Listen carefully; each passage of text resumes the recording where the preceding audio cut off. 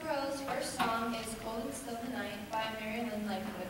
The soloists are Chloe Nowacek and Sierra Meyer. Women's Chorale's second song is The Isle of Hope, Isle of Tears. This is a song about Annie Moore of Ireland and all the people that immigrated to the United States through Ellis Island.